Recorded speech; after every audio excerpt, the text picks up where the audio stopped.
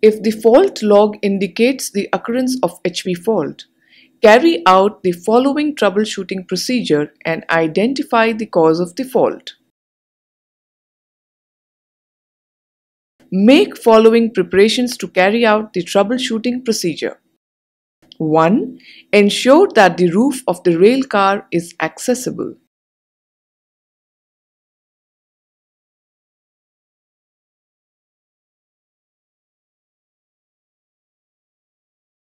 2. Set the HVAC main control switch to off position.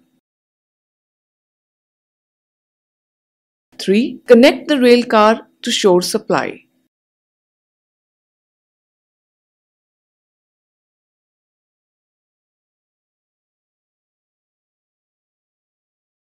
Four, identify on TIMS in which circuit the fault has occurred.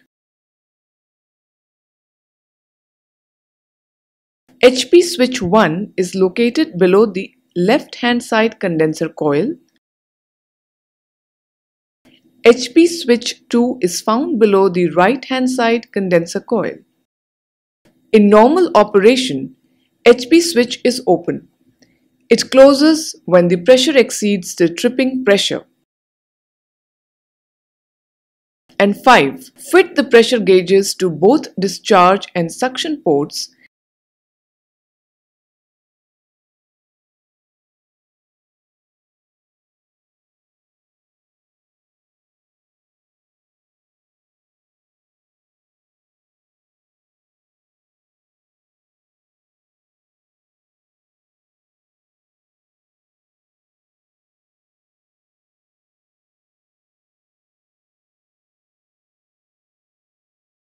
and open all service valves.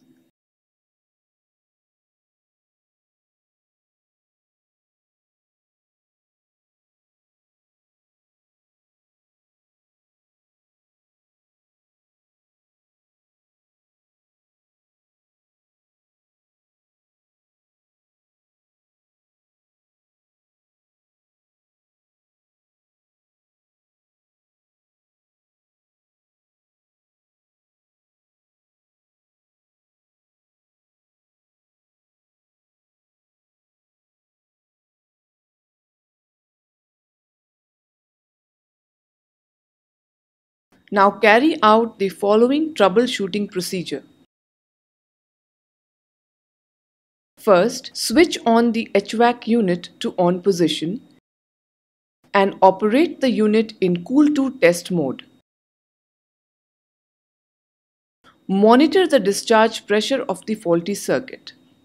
If the HP switch is functioning properly, it should cut in at 334 plus minus 15 psi and it should cut out at 435 plus minus 15 psi. If it does not do so, replace the HP switch and recheck the circuit.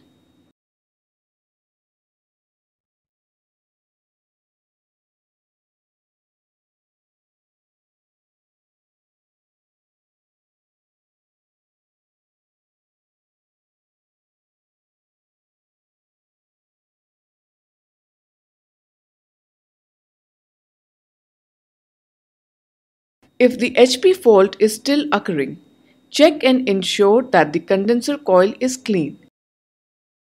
For this, bring the HVAC main control switch to off position